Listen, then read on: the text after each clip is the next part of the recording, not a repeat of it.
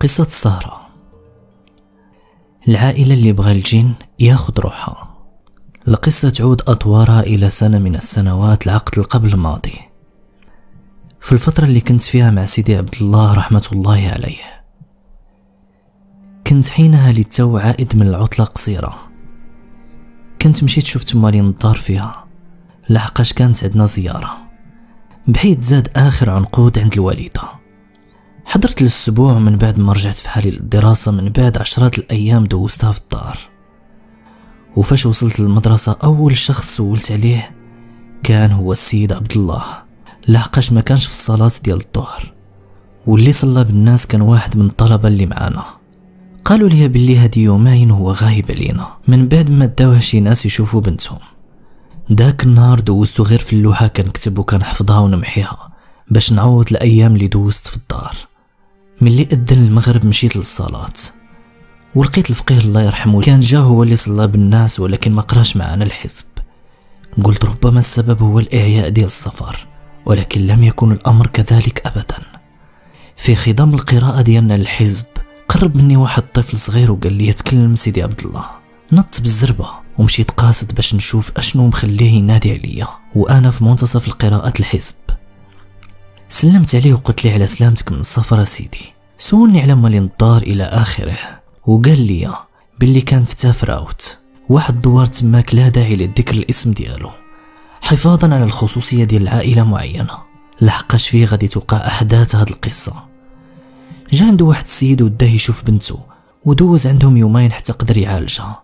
وقال لي باللي غادي يرجع الغد ليه وخاصني نمشي معاه. قلت ليه ياك قلتي لي عالجتيها سيدي. اذا علاش مازال غادي ترجع؟ قال ما غاديش نرجعو عند نفس الأسرة إنما عند أسرة وحدة أخرى. وقف عليا رب الأسرة وطلب مني أنني نشوف الابن ديالو. قلت ليه واش شفتيه؟ قال لي لا وإنما درت معاه نرجعو عنده الغد. قلت ليه غير تاع بعدا شوية عاد نمشيو. قال لي لا أنا كل شي نصبر ليه إلا دموع الرجال والراجل كان كيبكي عليا. وهذاك يعني أن ولده مكرفص. قلت ليه واش قال لك أشنو به؟ قال لي لا ولكن ولده مزوج وعنده وليدات. المهم قال لي بعد صلاة الفجر غادي نشدو الطريق. قلت ليه وهو كذلك. أنا ما كنتش كنقدر نقول سيدي عبد الله لا. واخا نكون رافض في نفسي. ما صليتش العشاء مع الجماعة ديك الليلة. مشيت نيشان للغرفة ديالي وجمعت داكشي اللي غنديوه معانا. وجدت ونعست بلا عشاء وبمجرد ما صلينا الفجر شدينا الطريق من طاطا لتافراوت وصلنا من ساعتين ديال الطريق تقريبا. وعاد شدينا الطريق لداك الدوار فين كاينين دوك الناس. ما كناش عارفين الدار. لحقاش الفقيه ما مشاش لعندو غير عطاه الكلمة وصافي. وسولنا على هذيك الدار. وأول شخص سولناه كان راجل كبير في السن. قال لنا راني نيت غادي لعندهم. زيدوا معايا الله يتقبل الأجر والله يرحم المرحوم. كيقسم عادل وكيقول أقسم بالله إلى غير قال ديك الله يرحم المرحوم أنا شداتني هنا التبوريشه ظنيت باللي السيد اللي جا عند الفقيه توفى. لكن كانت الأمور أسوأ وللأسف. لحقاش المتوفي كان هو الشخص اللي إحنا مشينا نعالجوه. فاش قالها لنا داك السيد؟ بقينا ساكتين أنا والسي عبد الله مدة. ما قدرناش ننطق باي كلمة أخرى. حتى وصلنا للدار. سمعنا البكاء والغوات ديال الزوجة والأم ديالو. ولقينا الأب ديال المرحوم قدام الباب شاد في راسو جالس كيبكي. سلمنا عليه وبقينا كنصبرو فيه. لقينا عاد غادي يخرجوه ويدفنوه. مشينا دفنا السيد ورجعنا للدار عندهم. وقدمنا التعازي ديالنا في المرحوم. وحاولنا ما أمكن أننا نصبر الأب ديالو.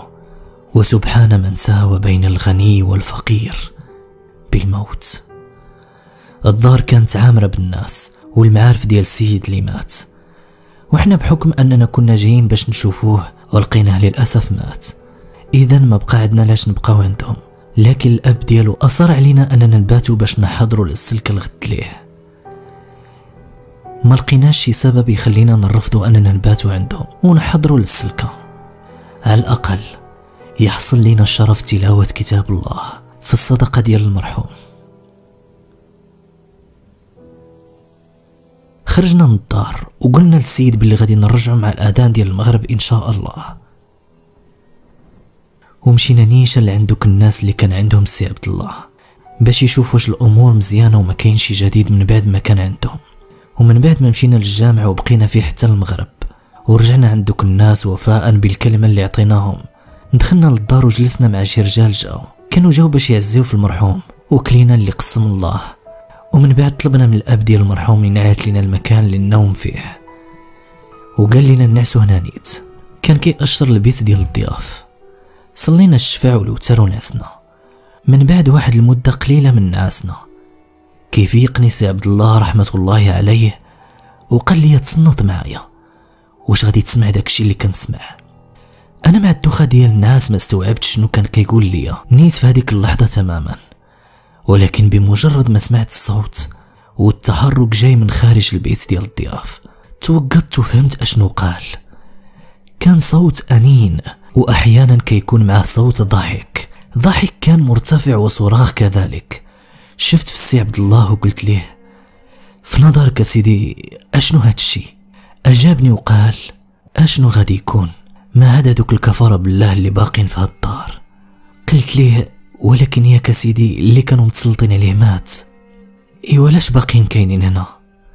الشخص المصاب بالسحر أو أي نوع من التسلط للجن. كيبطل عنه ذلك بمجرد وفاته. وقال لي رحمة الله عليه. باللي وجودهم في المنزل بعد الوفاة المرحوم. يعني أنه كاين شي فرد من العائلة متسلطين عليه.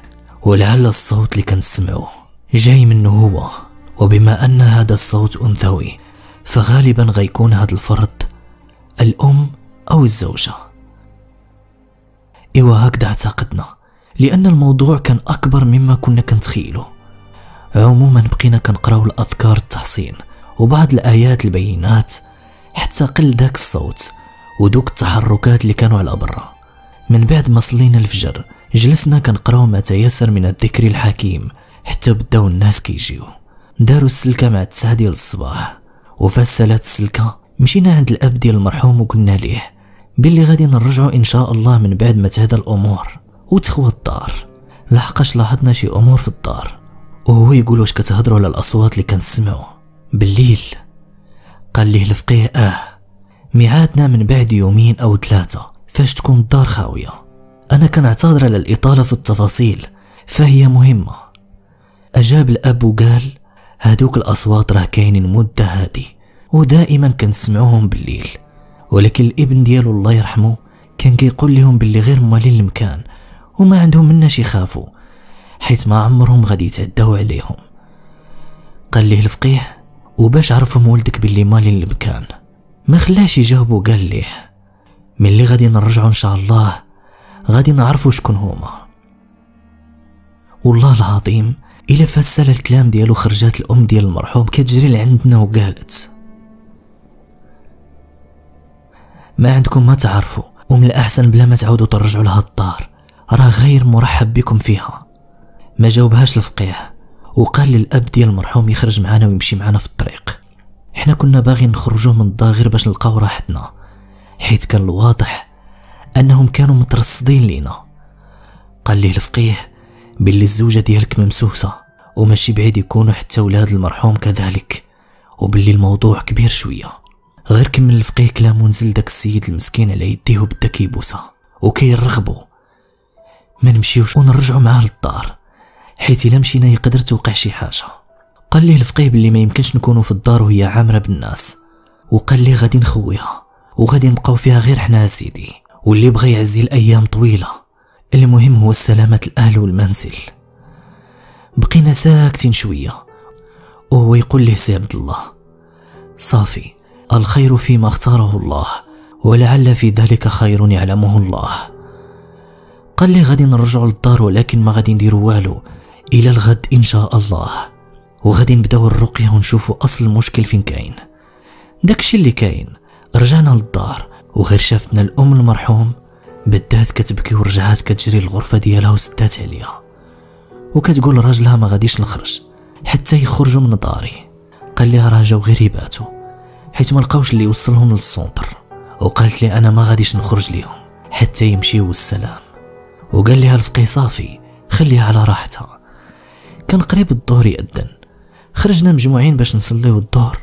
وفي الطريق ديالنا طلب الفقيه من الأب ديال المرحوم أنه يرجع للدار ويوجد لنا شي مكان نجلسو فيه ويخويها من البراني. لحقاش من بعد الصلاة ديال العصر غنجيو غنبداو الجلسة ديال الرقية.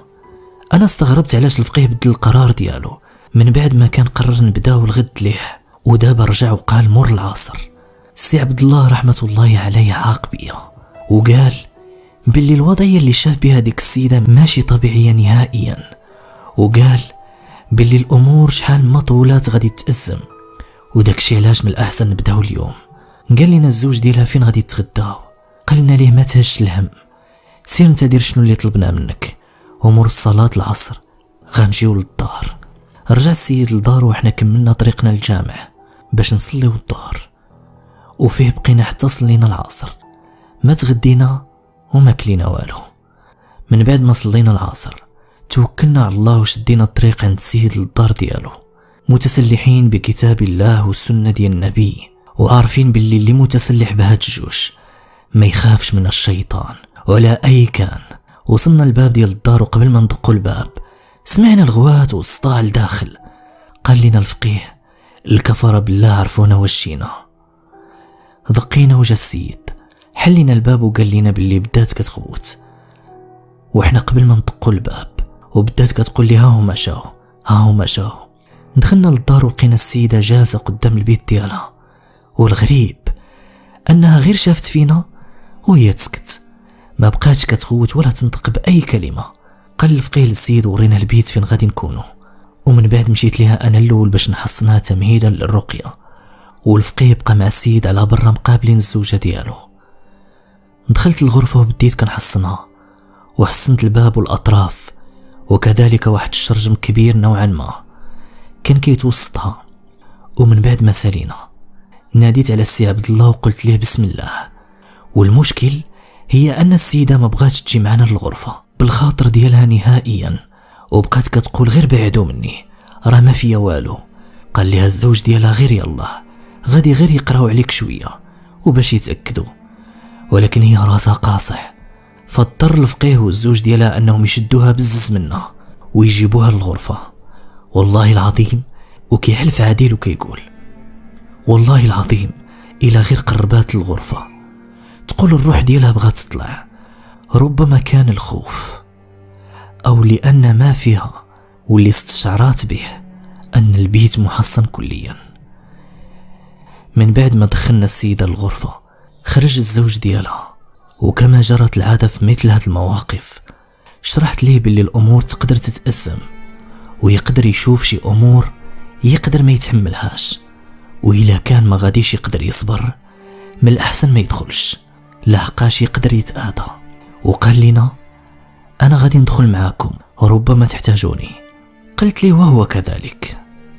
وقلت لي قبل ما نبداو سير طلع على الزوجة ديال الابن ديالك الله يرحمه وعلى الأبناء ديالها وخلي معاهم شي واحد من العائلة ديالك. سد عليهم عاد آجي. مشى دار داكشي ورجع. دخلنا وسدينا الغرفة باش نبداو على بركة الله. السيدة مشات نيشان للقنت ديال الغرفة. بقات جالسة وكتشوف فينا. وهذه القاعدة كاينة في أغلب الناس المصابين بالمس. كيميلون للانزواء في أقصى ركن الغرفة. حاولت نقترب ليها باش نخرجها من ديك البلاصة. ولكن بدات كتهدد وقالت ليا ما تقربش ليا. إلا قربتي ما تلوم إلا راسك. غير خليك في بلاصتك. وجلست قدامها أنا والسي عبد الله رحمة الله عليه. في هذيك اللحظة فاش جلسنا قدامها عم واحد الهدوء عجيب في الغرفة. كانت ساكتة بشكل غير طبيعي كأنها ما مهتماش بينا وباللي اللي واقع عليها. وعلى غير العادة دار عندي سي عبد الله الله يرحمه وقال لي واش حصنتي الغرفة مزيان. قلت ليه آه سيدي راني حصنتها مزيان كيف ديما. كانت أول مرة يسولني فيها بحال هاد السؤال. ودار عند السيدة وقال ليها مالك لالا علاش ما كتحمليناش فاش كتشوفينا داخلين؟ للدار عندك. ياك الله وصى على الإكرام الضيف والإحسان إليه. ما جاوباتوش. بقات غير كتشوف فينا ومرة مرة كتشوف الزوج ديالها. وتقلب عينيها في أرجاء المكان. للإشارة السيدة لم تكن عجوزا كبيرة. وإنما كانت على مشارف الستين. ولكن شادة في راسها مزيان. بعد محاولات من الفقيه باش يجبد منها الكلام. كانت مواجهتها ليه بالصد والسكوت. وهنا قال لي بدأ معايا بآخر آية من سورة التوبة. واللي قريتها قراها معايا. وفاش نشير ليك بيدي حبس القراية معايا. وبدا تقرأ سورة القاف. حتى نقول لك حبس. كانت أول مرة من نهار بديت نمارس الرقية. كنستعمل فيها هاد الصورة الكريمة بطلب من المرحوم عبد الله. أنا ما جادلتوش لأنه أدرى وأعلم مني. وقلت لي صافي واخا سيدي. تعودنا بالله من الشيطان الرجيم وبدينا بالفاتحة الكتاب.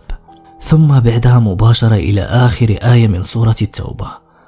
لقد جاءكم رسول من أنفسكم. إلى آخر السورة. وأي حاجة كيقراها الفقيه كنقراها معاه حتى أشار لي بيديه وأنا نسكت. وبديت من سورة قاف كيف ما طلب مني. أما هو فبدا كيقرا في سره. وسبحان الله العزيز الجبار بمجرد ما وصلت الآية الكريمة.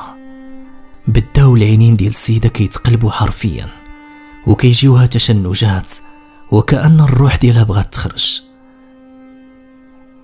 تما فين استغل سي عبد الله الفرصة وحط يدي على راسها؟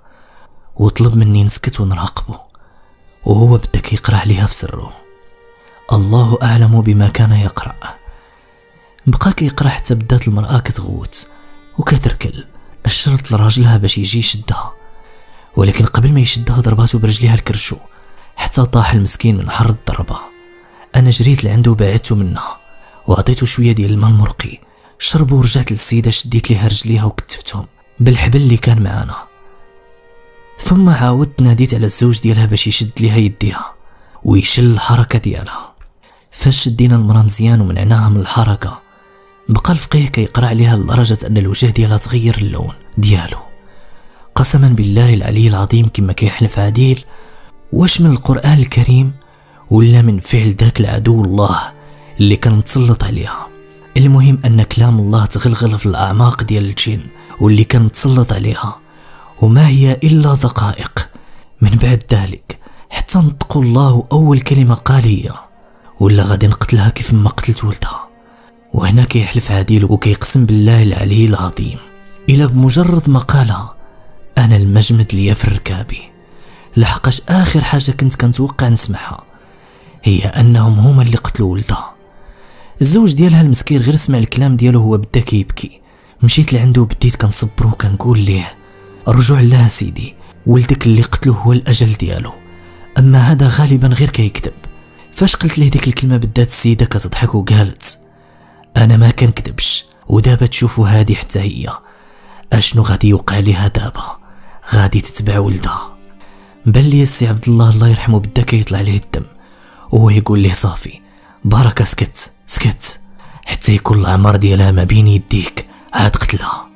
قال لي غادي نقتلها وغادي نقتل الزوج ديالها والأبناء ديال ولدها كاملين. وغادي نقتلك حتى أنت. وقال ليه الفقيه اللي في جهدك ديرو. أنا ولا أنت؟ وغادي نشوفوا لمن الغلبة واش الحملة كتاب الله والعاملين به ولا للشياطين والكفر بالله بحالك؟ ما تسوقش الكلام الفقيه ورجع بقى كيضحك كنوع من الاستهزاء. أشار لي الفقيه باش نبعد من السيدة ونجي حداه وطلب مني نشد ليها يديها بزوج.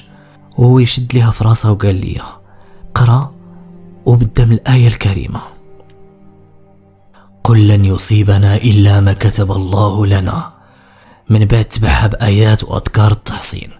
حتى تحس بيديها بدات كترخف. عاد تلقى داكشي اللي درت. بقيت كنقرأ عليها والفقيه حتى هو كيقرا في السر ديالو. وما حدي كنقرأ ما حد اليدين ديالها كتزير على يدي. بواحد الجهد ماشي طبيعي.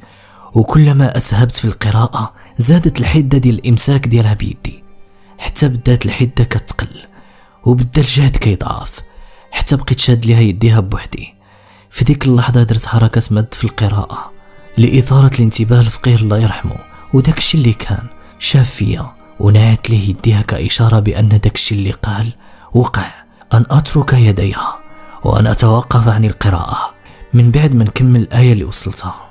فاش كملت الآية توقفت عن القراءة؟ بينما هو استمر في ذلك؟ حتى سقطت المرأة مغشيا عليها. نط وجبت القرعة ديال الماء المرقي ومديتها ليه. هو أول حاجة دارها هي أنه غسل بها يديها ثم رش ليها الوجه ديالها بيدها هي ماشي بيديه. وهذه أول مرة كنشوف هاد المسألة. غرش ليها الوجه ديالها ثلاثة ديال المرات من بعد خدا شوية ديال الماء وحطو في الفم ديالها وقفلو. حتى ابتلعاتو في الجوف ديالها. وما هي إلا لحظات قليلة. حتى فاقت السيدة المسكينة. ومن فاقت بدات كتقيا الدم حرفيا. وكيحلف وكيقول إلى الدم مصحوب برائحة كريهة لدرجة مثيرة للغثيان. وفسلت الرضان بدات كتغوت وكتبكي وكتقول شنو هادشي درتو؟ أنا بقيت غير كنشوف واحد الحالة من الذهول. لأنه بصراحة اللي وقع في هاد الجلسة ديال الرقية بالذات. عمرني ننساه مادامني عايش. وقال ليها الفقيه ياك باغي تقتلها. يلا قتلها دابا. قال لي غادي نقتلها. ورد عليه وقال كنتحداك تقتلها. بقات كتغوت وكتبكي وكتقول مازال الولاد مازال الولاد. أنا هنا فين فهمت باللي داك الدم اللي تقيات المرأة كان نوع من السموم اللي شربوه ليها. دوك اعداء الله. وكانوا فعلا ناويين يقتلوها. كما قتلوا الولد ديالها. كيحلف وكيقول عادل. أقسم بالله العلي العظيم إلا كنكتب دابا وشداتني القشعريرة. حيت كلما تفكرت هاد الأحداث كنزيد نتيقن ونتأكد قداش كان داك السيد الله يرحمه متمكن في العلوم الرقية ومجابهة الجن. تمنيت من الصميم ديال القلب ديالي يكون عندي ولو نصف مما عنده من العلم في هذا المجال. المهم كيف ما قلت لكم السيدة بقات كتغوت وكتقول ليه مازال الولاد مازال الولاد وقال ليها الفقيه إلا وصلتي ليهم غير قتليهم. الغرفة كانت محصنة وما عنده كيف يدير يخرج منها. وقال لي دابا ملي أبطلنا السحر من الجسد ديالها. قول لنا شنو اللي مسلطك على هاد العائلة؟ وعلاش قتلتي ولدهم وكتأذيهم؟ وقال ليه الذنب الدم. هاد الكلمة عندها معنى واحد وهو أن السيد اللي مات عنده علاقة بهاد الجن ولا شك المسألة فيها قتل. سولوا الفقيه وقال لي علاش الدم؟ أشنو دار ليكم؟ باش تقولوا هكذا. قال لي داكشي اللي دار وخا نقتلو الجدر ديالو كامل. ما غاديش يكفينا وقال ليه واش كنتو باش تقطعوا ليه الجدر؟ وباش من حق. قال ليه بحق الدم اللي سال والجدر اللي تقطع. تماك فهمت باللي السيد الله يرحمه دار شي حاجة خايبة. ولا شك أنها وصلت للقتل وهذا عدو الله اللي قتله وتسلط على امه إنما كيدير هادشي كنوع من الانتقام وهكذا اعتقدت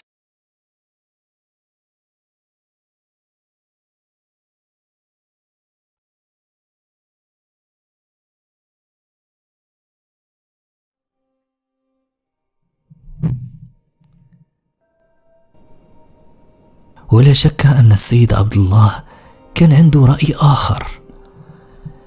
قبل ما يبدأ السي عبد الله كيحاول يعرف منه أشنو وقع قال لي داك عدو الله شوف واخا نبقاو أنا وياك هنا سنين. هاد العائلة غادي تموت غادي تموت. قال ليه الفقيه الله يرحمه إلا كنتي انت اللي خلقتيهم فقتلهم عدو الله. دابا قول لنا شنو اللي بغيتي من هاد العائلة؟ وشنو وقع حتى تسلطي عليهم؟ بقى ساكت شوية.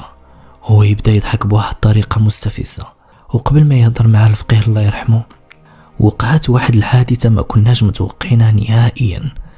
وهي أن الزوج ديال السيدة اللي جبناه يحضر الجلسة طاح حتى هو بدا كيتركل في وسط الغرفة. بواحد المنظر لا إله إلا الله وصافي. تيقوا بيا إلا قلت لكم ما عمرني حسيت بالخطر. بقدر ما حسيت به في هذه الجلسة هذه. لحقاش المسألة كانت أكبر من مجرد سحر أو تقاف. المسألة كانت دم وطأر وهي من أخيب الأمور اللي يقدر يصادفها الراقي. وأي تصرف خاطئ يقدر ينعكس عليه على ككل. جريت عند السيد اللي طاح كيتركل وحاولت أنني نجر وحدة الزوجة ديالو. ولكن آشا ودي غادي تجر. السيد تقل من جبل أحد. عيت ما نجر فيه وهو في المكان ديالو ثابت. وهذاك عدو الله كيشوف فيه وكيضحك. قال لي سي عبد الله صافي خليه خليه تماك. وأجي هنا شد ليا هادي من راسها وقرا ليه وخليني نمشي عند هذاك. شديت للسيدة راسها وبقيت كنقرا عليها وهو مشى عند السيد لراسو وبقى كيقرا عليه. ويا ريت الأمور بقات هكذا لحقاش صدقا. كانت من أسوأ التجارب اللي خدتها في حياتك كلها. ولولا ألطاف الله لكانت العواقب وخيمة. وداك الشي علاش كنت مركز عليه وراد معهم البال. وللأسف الظن ديالي ما خابش. لحقاش فاش كان السي عبد الله كيحاول يسيطر عليه ضربو بيديه للنيف ديالو لدرجة أن الفقيه فقد التوازن ديالو من قوة الضربة. بدا الدم كيسيل ليه من نيفو أنا فاش شفت الدم طلقت من السيدة وطحت على الراجل وزيرتو مزيان. والسي عبد الله ناض لجهة المحفظة ديالو جبد منها ال mouchoir باش يمسح الدم اللي كان كيسيل ليه من نيفو أنه كيعشق الدم بزاف. داكشي علاش كتشوفو دوك المشعوذين كيدبحوا الذبايح باش يتقربوا بها منهم. وكون ما كانتش الغرفة فاش كنا محصنة مزيان كان يمكن يستغلوا داك الدم ضد سي عبد الله الله يرحمه. فاش مسح الدم رجع لعند الراجل شد ليه يديه وبقى كيقرأ عليه حتى بدا كيفيق. خليت أنا المرا ونط جبت ليه الماء المرقي وشربتو ليه. حتى صحصح مزيان وقال لي ألفقيه. خليك معاه حتى تطمئن عليه. عاد أجي عندي. أنا نوضت الراجل من ديك البلاصة اللي كان فيها وديتو لبلاصه أبعد في الغرفة. وعاودت ليه الرقية من البداية. حتى تأكدت أنه ما فيه لا مس لا والو والحمد لله. فطلبت منه أنه يبقى في هذا المكان. وألا يتحرك منه. حتى نادي عليه. ورجعت عند الفقيه عبد الله باش نعاونو على داك الكافر بالله. اللي متسلط على هذيك السيدة. وخرجت لعند سي عبد الله كان بالي مشغول مع الزوج ديال السيدة. وكان عندي الشك بأنه ممسوس وخدرت ليه الرقية. واستأذنت سي عبد الله باش نكتفو حتى هو لحقاش ما كان آمنش ليه. وقال لي يا ياك رقيتيه وما لقيتي عنده والو. قلت ليه آه سيدي. ولكن راه بالي ما مرتاحش. وحتى الشوفات اللي كيدير فينا دابا ماشي ديال إنسان طبيعي. وأنا خايف لا يدير شي تصرف يأذي به راسو. وفعلا كان كيشوف فينا شي شوفات ماشي تليه قبل ما نوصل لعنده باش نعقد ليه يديه ورجليه السيد بدا كيقفقف غير بوحدو. قلت ليه إلا سمحتي لي الحاج بغيت نكتف ليك يديك ورجليك باش ما تأذيش راسك في ظل هذه الظروف اللي إحنا فيها.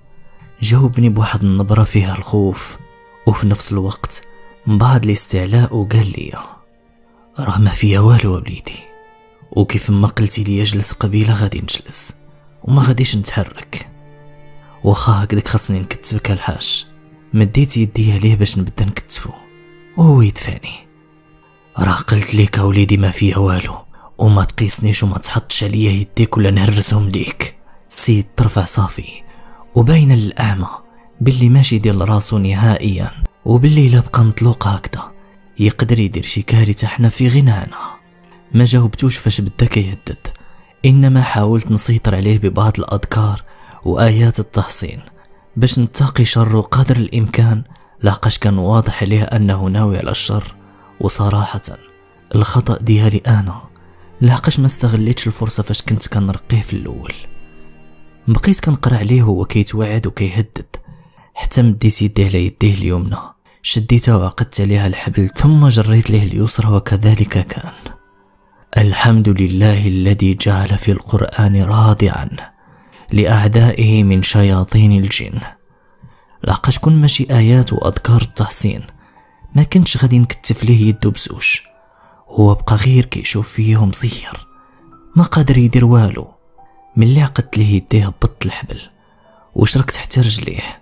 عقدت الرجلين واليدين بحبل واحد باش ما نخليش ليه الفرصة فين يتحرك مازال وقريت عليه بعض الأذكار عاد خليته. ورجعت عند السي عبد الله الله يرحمه اللي كان كيرقي الزوجة ديال الحاج. قصص عادل حصريا كاينة في الموقع كوابيس. هاد القصة وكل قصص عادل غادي تلقاوها في المدونة ديالو في الوصف. كنتمنى أنكم تدخلوا لعنده شحال من واحد غادي يقول باللي تكبيل الشخص فيه إنقاص الحقوق ونوع من الذل. لو كان تعرفوا الظروف اللي كنعيشوهم في ديك اللحظة والله ما غتهضروا. وكيبقى التكبيل آخر الخيارات. رجعت وجلست حدا الفقيه وبقيت كنعاونو في قراءة الأذكار. والغريب في الأمر أنه من اللحظة اللي تضرب فيها السي عبد الله في نيفو والمرا ساكتة ما كتكلمش نهائيا.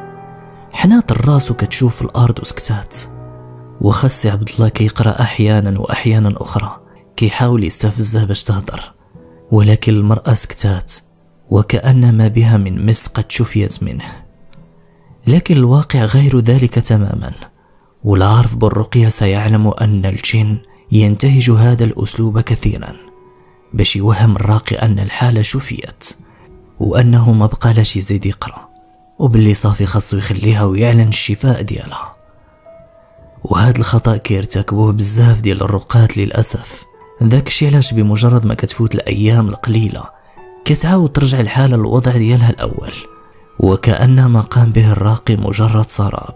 والصحيح أن الراقي خاصو يبقى مع الحالة حتى يتأكد نهائيا من الشفاء ديالها عبر إلزام الجن بنطق العهد الذي لا شفاء دونه.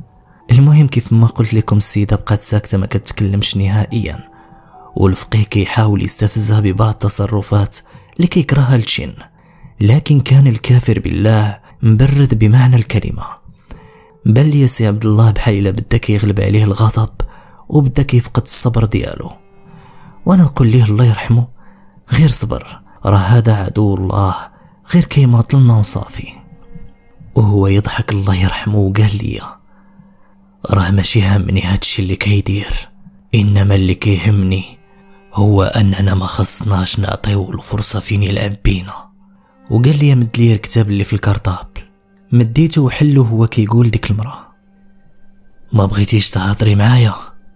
بريتي ياك وما بقى فيك والو. دابا غادي نشوفو. حط يدي على راسها من الفوق وبدا كيقرا عليها من الكتاب ديالو. وفي العادة ملي كيبدا السي عبد الله القراءة من الكتاب أقوم أنا بقراءة سور وآيات وأذكار. يطلب مني قراءتها بموازاة مع قراءته من الكتاب. لكن هاد المرة قال لي ما نقرأ والو. وإنما طلب مني نرد البال المرأة والراجل فاش تبدأ تبان عليهم أعراض التأثر. داكشي اللي درت. بقيت كنراقبهم وهو كيقرأ من الكتاب ديالو بخشوع كبير بدون ما يشوف ولو مرة وحدة في السيدة اللي قدامه.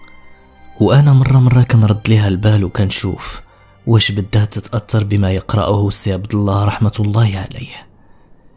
في البداية كانت هادئة وما كان حتى ردة فعل ولكن مع توالي القراءة بدات كتبان عليها علامات التأثر وباللي بدات كتزير النفسية ديالها وبدات كتميل براسها كنوع من المقاومة لما يقرأه السي عبد الله رحمة الله عليه.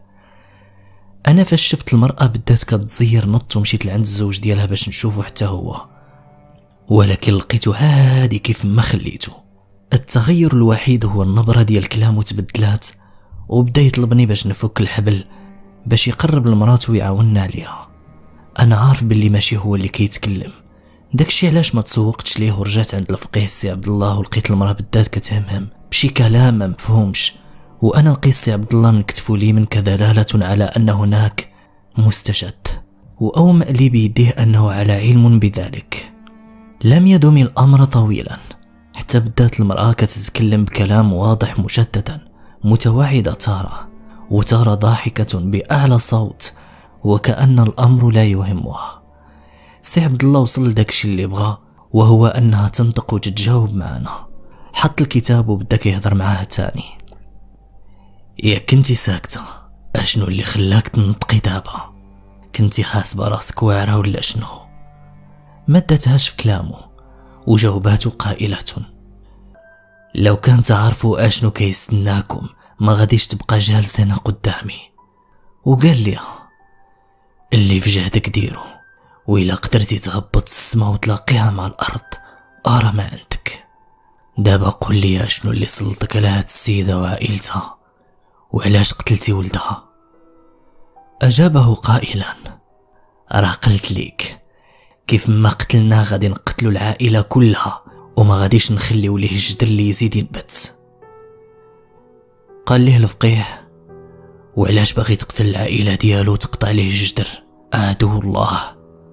أشنو دار ليكم؟ قال ليه داكشي اللي دار داه مع القبر وغيتحاسب عليه. قال ليه الفقيه وأنت ما غاديش تحاسب. قال ليه أنا ندير اللي بغيت وديك الساعة نتحاسب ماشي سوقك. وقال ليه الفقيه وشنو بغيتي يا عدو الله؟ قال ليه أنا باغي نمحي ليه الاثر من الدنيا وبلا ما تعيي راسك ما غاديش تقدر دير والو. وقال ليه الفقيه حنا غادي نشوفو عدو الله. واش انت هو الأقوى ولا اللي خلقك؟ قال لي الفقيه أجي حدايا. ورك السيدة على رجليها مزيان حتى نقول لك تلقى. ووصاني نقرأ بعض الصور والآيات والأذكار بالترتيب وجهرا. وفاش نكملهم نعاود نقراهم حتى يقول ليها بركه داكشي اللي درت. ضغطت السيدة على رجليها كيف ما طلب مني وبقيت كنقرأ عليها. وكيف ما قال ليها بالترتيب. أما هو شد ليها السبابة اليمنى وبقى كيقرأ عليها في سره. مغمض العينين. أنا بقيت كنقرأ في نفس الوقت عيني في عينين السيدة. ما بغيتش نشيح بالنظر ديالي عنها وكيحلف عديل وكيقول والله العظيم إلا حنا كنقراو العينين ديال السيدة كيتقلبوا في مكانهم واللون كيتغير وكيولي أحمر في ملمح بصر بحال اللون الفحم الكامل الاشتعال بدات كتغوت وتهدد وتسب أقبح الألفاظ والنعوت وكأن من يصرخ شخص سكير فاقد لوعيه وليست امرأة مسكينة بلغت من الكبر عتيها ما تسوقناش ليها واستمرينا في القراءة حتى بدأت تهدي في الكلام ديالها وصار كلامها غير مفهوم. بدات كتبكي بحال شي طفل صغير والحق أنه والله ما كان القلب ديالك قوي والإيمان ديالك أقوى حتى تأثر عليك بداك الصوت اللي كانت كدير. وقال لي الفقيه صافي حبس وحتى هو تلقى وقال ليها ودابا شنو قلتي؟ نكملو ولا تهضري بدون مقدمات قالت ليه أشنو باغي تعرف؟ أشنو باغي تعرف؟ بغينا نعرفو كل شي من البداية. كيفاش حتى تسلطي على هاد الإنسان؟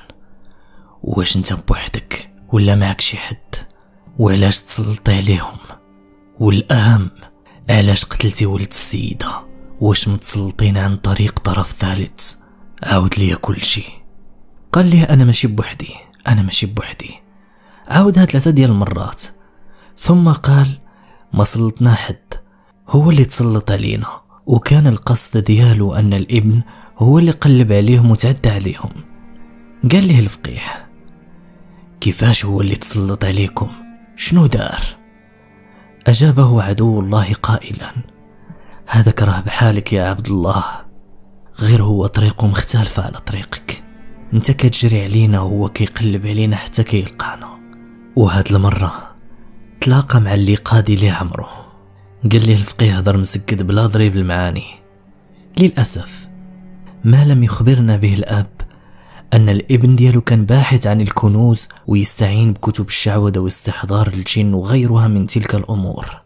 سيد كان قاري كتاب الله وفاهمه مزيان وكان كيستعين بكتب تحضير الجن والبحث عن الكنوز وكان مبلي بزاف بهذا الشيء كما أنه لم يكن لوحده كان مع شخص آخر ما عرفناش المصير ديالو الصراحة. المهم قال لنا باللي سيد الله يرحمه كان كيقلب على الكنوز والدفائن وباللي كان كيستعن ببعض الجن اللي كيدلو على الأماكن وأيضا كيعاونوه باش يخرجها. وباللي سبق ليه استخرج جوج ديال الدفائن في أماكن مختلفة بمنطقة سوس. والدفينة الثالثة هي فاش وقع ليه اللي وقع وتسبب في مقتله ومقتل اثنين من الجن. كانوا معاه كيعاونوه في تلك الليلة. وما فهمت أنا والفقيه رحمة الله عليه أن هناك خطأ جسيم ارتكب من طرف القتيل أدى إلى حصول خرق معه. وبالتالي أدى إلى مقتل الجنين اللي كانوا معه بينما هو تقاس في نفس اللحظة. وقال باللي المقتل الجنين أدى إلى وقوع شبه حرف بين قبيلتين من الجن. قبيلته هو وقبيلة الجنين القتيلين. مات فيها 25 نفر من الجن. أغلبهم إن لم نقل جلهم. من قبيلة الشخص المتسلط على السيدة التي أمامنا. القضية فيها فتنة كبيرة. وقعت ما بين قبيلتين من الجن وفيها مقتل 27 من كلا الطرفين بما فيهم الاثنين اللي كانوا كيعاونوا السيد الله يغفر ليه ويخفف عليه. ولولا تدخل أعيان القبيلتين لوقع عدد أكبر من القتلى. للأسف ما قاله الجني خطير جدا ولأول مرة كنشوف السي عبد الله الله يرحمه حائرا به بعض الخوف. كان الموضوع كبير بزاف وكما قلت لكم هاد الحادث بالضبط عمرها تنسى ليا مهما حييت لدرجة أنني كنكتب كل اللي كان طرعت كنقسم لكم بالله لأن الأهوال اللي شفتها فيها كانت كبيرة بزاف. وخيبا لكم هادشي طويل.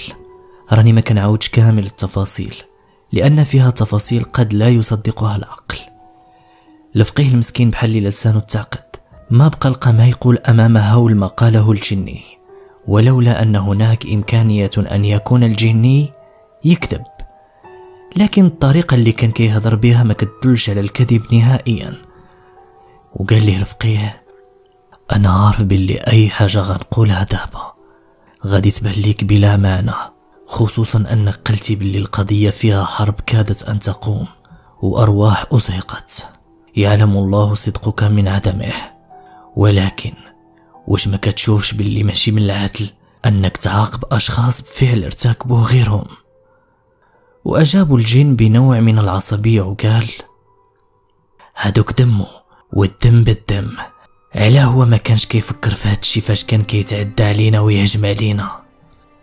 ولكن أشنو الذنب ولادو الصغار والزوجة ديالو والوالدين ديالو؟ باش آذاوكم ياك هو وصلتو ليه وقتلتوه. راه قلت ليك هادوك دمو واللي من دمو غيتبعو. بجهد الله سبحانه وتعالى ما غاديش نسمح لكم تآديو مازال هاد العائلة. وخا يكون هادشي آخر ما سأقوم به في حياتي ما غاديش نسمح لكم. إذا حتى انت غادي نشركوك معاهم. إلا وصلتي ليا غير شاركني معاهم. وتلا عليه الآية الكريمة. قل لن يصيبنا إلا ما كتب الله لنا. إلى آخر الآية. دار عندي الفقيه الله يرحمه وقال لي ياسر خرج وطلع للولاد المرحوم والزوجة ديالو جيبهم لهنا. فهمت من الكلام الفقيه أننا غادي نديرو الرقية الجماعية. وكانت هذه أول مرة نحضر فيها الرقية الجماعية مع السي عبد الله. حليت الباب وأنا كنقرأ آيات التحصين وخرجت دقيت على الباب البيت اللي فيها ولادو والزوجة ديالو. حلات لينا الأخت الزوجة ديال المرحوم واستأذنتها في الدخول. دخلت ولقيت الولاد مساكن مخلوعين وما عارفينش أشنو واقع وباين باللي المس باقي ما أثرش فيهم مزيان. والزوجة حتى هي المسكينة مخلوعة ما عرفاش باش تبلات. ولكونها شادة حق الله لابسة الأبيض فأنا ما نقدرش نقيسها. لذلك طلبت منها أنها تمشي معايا للبيت فين كاينين هي والأبناء. والحمد لله. ما بداتش أي مقاومة أو اعتراض. هزيت واحد من ولادها وطلبت من أختها أنها تهز التربية الأخرى وتجي معايا بعد ما حكيت لها التفاصيل وقبلات. لحقاش هي اللي غادي تكلف بختها تشدها إذا اقتضى الأمر. حليت الباب ديال البيت وسميت الله ودخلت وأنا كانت له ما تيسر من أذكار التحصين. طلبت منهم أنهم يجلسوا في مكان غير بعيد عن الأب ديال المرحوم وطلبت من أختها أنها ترد البال لأختها وللأبناء. وتعلمني بأي تغيير في الحالة ديالهم. ما شاء الله السيدة كانت متمكنة وما خايفاش من الوضع نهائيا وهادشي نادرا فاش كنا كنصادفوهم. رجعت عند الفقيه الله يرحمه وجلست حداه وقال لي بعد شوية سير جلس لهيه. المسافة جات في الوسط تماما ما بين المكان الجلوس ومكان الجلوس الزوجة والأبناء والأب. وقال لي اقرأ معايا بدون توقف وبصوت عال. حتى نشير ليك بالتوقف كالعادة. وإلا لاحظتي شي حاجة في الأبناء نوض لعندهم وشدهم. والزوجة ما تقيسهاش بيديك. قلت ليه واخا؟ جلست في المكان اللي طلب مني نجلس فيه. وبدينا كنقراو بصوت عالي لأكثر من ساعتين من الزمن. وكيحلف عادل وكيقول والله العظيم إلى ساعتين وحنا كنقراو وكنعاودو نقراو. لأن داكشي اللي كنا في حضرته ما ينفعش معاه شوية وتسكت. وفي هذيك الساعتين وقع من الأهوال ما الله به عليم. بحيث أنني اضطريت نكتف الوليدات الصغار حتى هما والأخت كتفات أمهم وثقوا بيا كانت من أصعب اللحظات حياتي. هي فاش كنت كنكتفهم وهما كيبكيو المساكن. ولكن كان لازم هادشي. لحقاش يقدروا يأديو راسهم. خصوصا أن الهدف قتلهم كيف ما قال داك عدو الله. فهاديك الساعتين كيف ما قلت لكم شفنا من الأهوال ما الله به عليهم لدرجة أن واحد من دوك الكفرة باللي تمثل في هيئة المرحوم وبقى واقف قدام مراته كيقول ليها هذا أنا كما قتلوني غادي يقتلوك ويقتلوا ولادنا. والسيدة المسكينة كتغوت وكتقول ليه بعد مني بعد مني. كان عدو الله كيمارس عليها أقصى أنواع التهديد النفسي. لدرجة أنه بدا كيبين ليها ولادها وهما معلقين في واحد العمود والدود كيأكلهم. أنا ما قدرتش نتحمل داك الغوات وديك الحالة. والغريب في الأمر أن الأخت ديالها كانت كتشوف داك الشي كامل. بينما أنا والسي عبد الله كنا كنسمعوا الصوت اللي كيتكلم فقط وما كنشوفوش الخيال أبدا. صراحة ما قدرتش نتحمل الغوات والبكاء ديال السيدة. خفت إلا بقات كتعذب بحال هكذا ويوقع ليها شي حاجة.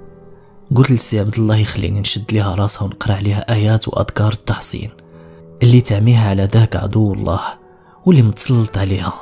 وكان لازم نشد ليها راسها وأخا ما خصناش نقيسو المرأة شادة حق الله ولكن للضرورة أحكام. قال لي أسير مشيت عند السيدة وشديت ليها راسها وبديت كنقرأ عليها. وأنا كنقرأ عليها. السيدة كتقول لي راه فوق راسك راه فوق راسك راه فوق راسك. أنا ما تسوقتش ليه. لحقاش عارف باللي بجهد الله سبحانه وتعالى ما يقدرش يمسني بسوء أبدا. بقيت كنقرأ على السيدة حتى بدأت تهدأ شوية بشوية. ولله الحمد ما بقاتش كتشوفو قدامها بشكل كلي. فمثل هاد الحالات أخوتي. كيعرف الإنسان عظمة كتاب الله وقوته حقا. فبفضله قدرت نعمي ديك السيدة على داك الكافر بالله. حتى ما بقاتش كتشوفو وخا بقات اختها كتشوفو. ولكن كيف ما قلت لكم اختها كان عندها واحد الإيمان قوي ما شاء الله بحيث أن داك الشي ما كان كيحرك فيها والو. من بعد فترة ما ساليت من السيدة وقلت للأخت ديالها ترد لها البال والأولاد كذلك باش نكملوا الرقية ديالنا أنا والفقيه على أمل ما يقاطعنا والو هاد المرة. وقبل ما نرجع لبلاصتي جبت الدراري الصغار حدايا وجلستهم قدامي وخليت أمهم مع أختها.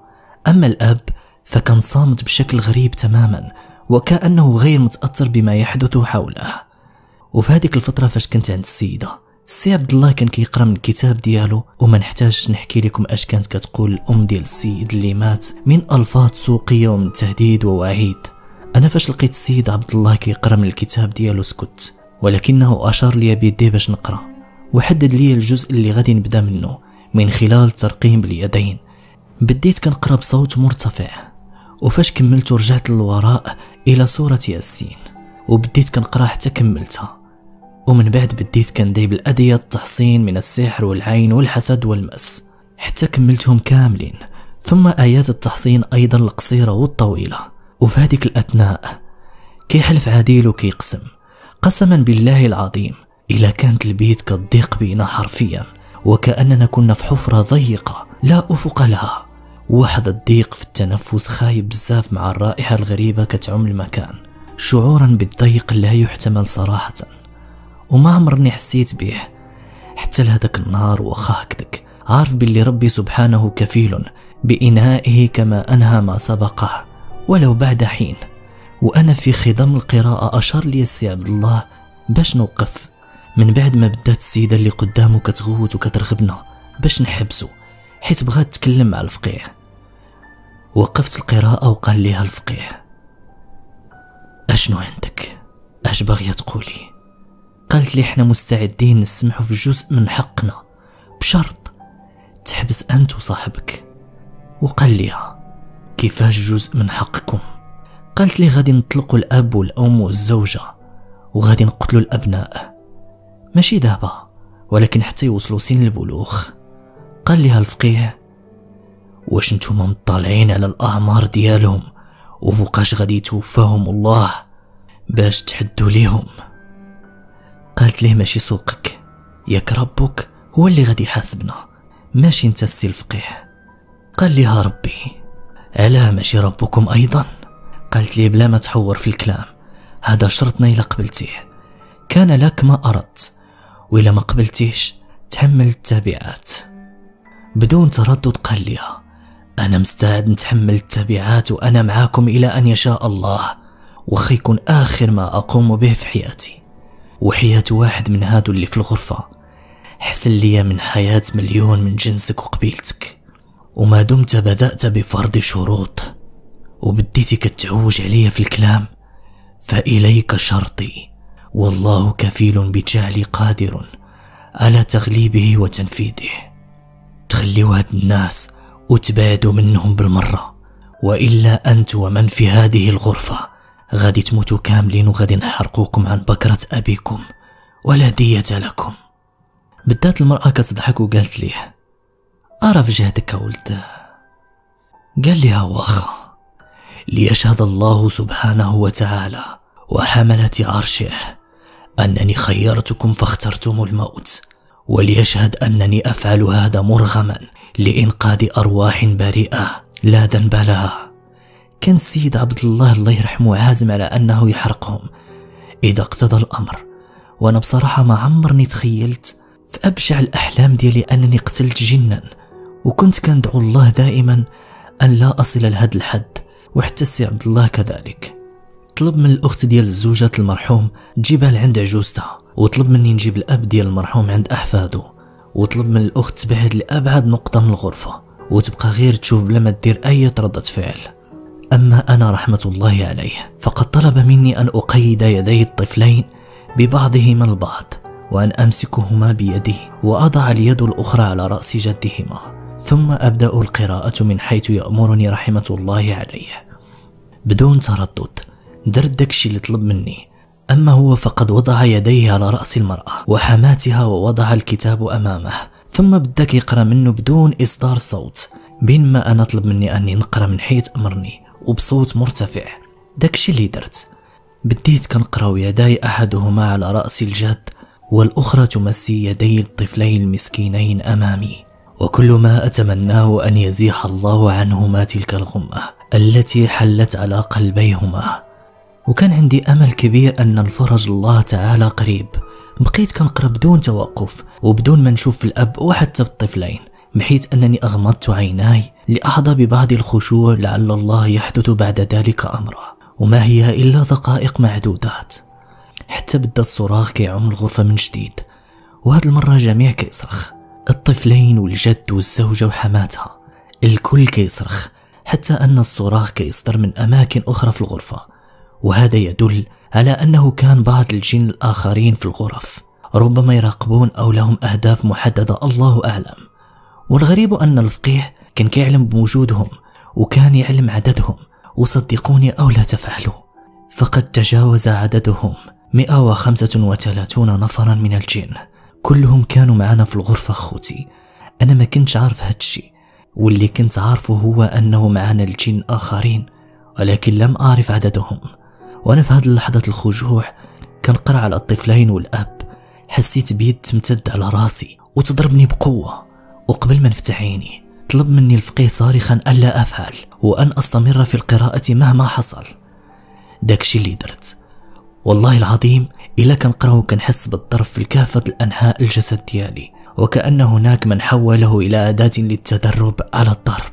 لكن الإيمان الكبير بالله أولا ثم بالفقيه عبد الله. صبرت واستحملت وكملت القراءة بدون أن أفتح عيناي.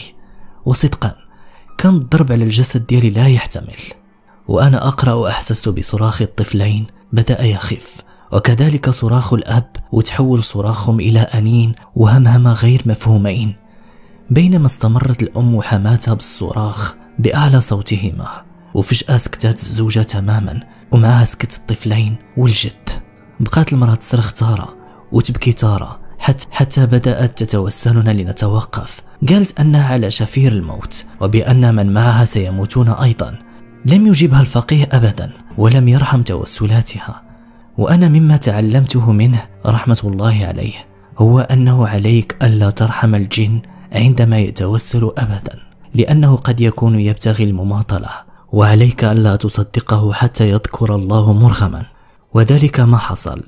بحيث أن السيدة بدأت كترغب وتزاوق بوجه الله تعالى سائلة إياه أن يتوقف وستنفذ كل طلباته وما يأمر به. فديك استمر الفقيه في القراءة لعدة دقائق أخرى ثم طلب مني أن أتوقف وأفتح عيناي وبمجرد أن فتحتهما وجدت الطفلين والجد فاقد الوعي تماما بينما الزوجة تهدد بكلام غير مفهوم. أما الحماة فقد كان وجهها يعلوه السواد يعلم الله تعالى مصدره. أول ما فتحت عيني أول ما فتحت عيني شفت الجهة ديال الخالة الطفلين. باش نشوف لكن موقع لها والو. والحمد لله أنها كانت في المكان ديالها جالسة تشاهد ما يحدث مع بعض الصدمة التي تعلو وجهها. خبرتني أنها نتيجة من داكشي اللي كنت كنتعرض ليه من الضرب بحيث أنها كانت كتشوف الجن اللي كانوا كيضربوني. كانوا أشخاص غلاظ الهيئة وكانوا يركلوني ويقفزون فوقي. كما يفعل السباح عندما يرتمي في الماء. ورغم الآلام اللي كنت كنحس فيه فاش كنت كنقرأ على الطفلين وجدهما إلا أنه زال بمجرد ما فتحت عيناي. ولله الحمد والمنى. وهذا كان دليلا على أن ما يقومون به إنما نوع من السحر. أبطله الله تعالى. والجسد ديالي الحمد لله ما كانتش في حتى أثار للضرب أو أي أعراض أخرى. بغيت نسول الفقيه ياك ما حتى هو كانوا كيضربوه. ولكن ما قدرتش. بعد دقائق من توقفنا من القراءة تكلم الفقيه مجددا مع السيدة وهاد المرة ناداه باسمه هو أي الجن المتسلط عليها؟ سائلا إياه. ودابا يا باقي باغيين تقتلوا هاد العائلة؟ قال لي آه باقيين باغي نقتلوها ولكن ما خليتيناش. قال لي الفقيه مادام أنك مازال باغي تقتلهم اذا ما كانش عليا نوقف حتى نقتلكم كاملين. قال لي ما تحتاج. كما تهمك أرواح بنو جنسك فنحن أيضا تهمنا أرواح أبنائنا وما غاديش نضحيو بعدد كبير من الجن بسبب أربعة تافهين من الإنس. وكيقسم عادل وكيقول قسما بالله العلي العظيم إلى بحال هكذا قالتا قال لي الفقيه لا تافه في هذه الغرفة إلا أنت وبني جنسك لتسلطك على إنسان لا حول ولا قوة. لم يرتكبوا في حقكم أي ذنب إلا أن دمهم من دم من آداكم وإلا كنت لحقته والله ما تقيس فيه شعرة. لكن أمر الله كان مقضيا وأجله قد حان فعلا وإلا لأدركته ودابا بلا ما نطول معاكم في الهضرة وش غادي تبعدوا من الناس ولا لا؟ وأنا أقسم لك بمن أحل القسم جل شأنه وعظم أمره. أنني لبديت هاد المرة ما غاديش نتوقف حتى نقتلكم كاملين. ولو كلفني هذا حياتي. وليشهد الله على قول هذا. داكشي علاش الخيار اللي كذابة. يتبعد انت والقبيلة ديالك ممن معك عن هاد الأسرة أو الموت. اختر ما تريد. قالت لي بدون تردد. غادي نخليهم ولكن بثمن. قال لي الفقيه أنت في هاد الوضع وباقي كتشرط قال لي الثمن ساهل ومقدور عليها ولد قال لي الفقيه؟ أشنو هو؟ قال ليه حرق الكتاب حرق الكتاب وذاك الساعة لك عهد الله الذي تؤمن به ولك عهد ما نؤمن به أن نترك هذه الأسرة وكل دمه. كان كيقصد دم المرحوم ولكن حرقه قدامنا نشوفوه. قال لي الفقيه أن الكتاب ما عرفوش فين كاين باش نحرقه واللي عارف فين كاين راكم قتلتوه. قالت ليه؟ حنا عارفين فين كاين. غادي ندلك عليه وسير جيبو. قال لي إلا كان خارج البيت ما غاديش نمشي فين. قالت ليه كاين غير هنا غير هنا. نعتات ليه واحد البلاصة في الدار كاين فيها واحد البيت قديم كانوا كيديروا فيه الخزين مما يحصدون. قالت لي قلب فيه غادي تلقاه. طلب مني الفقيه أنني نمشي نقلب عليه ونجيبو ليه. قلت ليه واخا سيدي قبل ما نتحرك من بلاصتي نطقات وقالت لي الا فتحتي الكتاب فلا عهد بيننا وغتموت ونموتو أنا ما تسوقتش كلامها وخرجت من الغرفة ومشيت نيشان للبلاصة اللي نعتات. وكيقسم وكيقول قسما بالله إلا فاش دخلت البيت لقيت فيها مرة لابسة رداء أسود جالسة في الوسط تماما. ما سلمتش ليها حيت عارفة منهم وحتى هي ما هضراتش معايا أبدا. ولكن بدات كتنعت بيديها لواحد البلاصة في الغرفة. مشيت ليها نيشان ولكن ما لقيت والو. هنا نطقات وقالت لي هبش يا ولد خديجة هبش. وفهمت أنها طلبات مني نحيد بيدي التراب اللي كان مغطي البلاصة. وفعلا داكشي اللي درته الحمد لله ما هي إلا ثواني. حتى كتبان ليا الميكا كحلة. وجبدته فيها كان الكتاب؟ كان الكتاب قديم بزاف ما عرفتش كيفاش لقاه داك السيد. رحمة الله عليه. بمجرد ما لقيت الكتاب المرأة اللي في البيت اختفت وكأنها لم تكن. هزيته ورجعت للبيت بالزربة وعطيته للسي عبد الله رحمة الله عليه. وأول ما قالوا بعد ما عطيته الكتاب بسبب هاد الويل مات أرواح. قالت ليه المرأة هداك الويل اللي في يديك إلا فتحتيه غيوقع ليك كما وقع لهداك السي الفقيه. قال لها حد الله بيني وبين أعمالكم القذرة. قالت لي وهي كتضحك. بل بنو جنسك هم القديرون. دابا حرق الكتاب. قال لي هي اللي ما تعاود عطاني الكتاب وقال لي خرج برا ديال البيت. حرقو ما تدخل حتى يتحرق بالكامل. وداك الشيء اللي درت. خرجت وجبت بعض الاعواد كانوا خارج المنزل. شعلت فيهم العافية ولحت الكتاب وسطهم. وبقيت مقابله حتى تحرق تماما. وخويت عليه بعض الماء ثم رجعت عند الفقيه. فاش دخلت لقيت الفقيه كيفك دوك الناس اللي في الغرفة هو وأخت الزوجة المرحوم. ما فهمت والو؟ وقلت لها شنو وقع سيدي؟ قال لي بمجرد ما لحتي الكتاب في العافية طلع لي الكافر بالله العهد وخرجوا. قلت ليه وباش عرفتيهم ما غيرجعوش. قلقوا سؤالي الله يرحمه. وقال لي واش هنايا كنلعبوا هنا وليدي؟ قلت ليه حاشا سيدي عبد الله أنا غير صافي اسكت وسير جيب الماء المرقي خلينا نشربوه للناس باش نتأكدوا باللي ما بقى فيهم والو. بدون تردد. مشيت جبت ليه الماء وبدينا كنشربوه للحالات بخمس. بدينا بالأم ثم الأب ثم الزوجة في الطفلين. والحمد لله ما لقيناش فيهم أي أثار للمس. بقينا كنرقيهم حتى توقضوا تماما. السيد المسكين ما كان عاقل على والو وآخر حاجة عاقل عليها هي فاش بدك يتركل. المهم قلنا ليه الحمد لله على سلامتك وطمأناه باللي الأمور ولات بخير وعلى خير وباللي ما عمر دوك الكفرة بالله. غادي يتسلطوا عليه مازال. السيد المسكين ما كانش مستوعب أصلا الوضع اللي هو فيه. عذرناه وطلبنا منه يسخن لنا شوية ديال الماء باش نتوضاو ونصليو اللي فاتنا من فرائض. من العصر وحنا كنرقيو فيهم حتى الزوج ونص ديال الصباح وتقريبا 11 ساعة متواصلة من الرقية. الحمد لله الذي بفضله تتم الصالحات. قدرنا رغم طول المدة والتعب والأهوال اللي شفنا أننا نغلبهم بأمر الله وقوة دينه وكتابه وما أنزله على نبيه محمد صلى الله عليه وسلم. وثقوا بي. من اعتصم بحبل الله ما كان له أن يخيب أبدا. وعزة الله تعالى. سمحوا لي إلا طولت عليكم.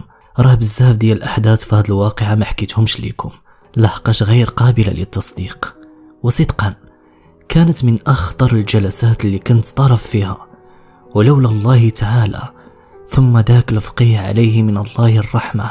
يعلم الله كيفاش كانت غادي تسالي الأمور. أنا ما عمرني شكيت ولو لوهلة في قوة ذاك الإنسان رحمة الله عليه وبدرجة التمكين اللي عطيه الله تعالى. بحيث من نهار بديت كنمشي معاه ما عمر شي جلسة خرج منها خاسر. دائما كان هو الغالب بفضل الله تعالى وما كانش كيطلب أجرا أو يبتغى مالا. إنما كان يقول بذلك ابتغاء لرضا الله وعفوه وعطفه وطمعا في جنته. وهذا ما كان كيقول دائما رحمة الله عليه. رغم الأهوال اللي عشتها وخبرتها مع السي عبد الله إلا أنني أعتبر الأيام التي قضيتها معه من أجمل الأيام عمري لأنني كنت طرف إنقاذ العديد من الأنفس. بفضل الله تعالى نسأل الله أن يكتب لنا أجرا إنه السميع العليم. أعتذر مجددا على الإطالة في السرد. فقد اختصرت قدر الإمكان ولا تنسوا أن كل ما أكتبه إنما هو ترجمة لما دار بيننا وبين أعداء الله. لأننا كنا نتحدث بالأمازيغية إلا عندما نتلو كتاب الله وآيات البينات. داكشي علاش كنستسمح على بعض الأخطاء الواردة أهلها. والسلام عليكم ورحمة الله تعالى. النهاية.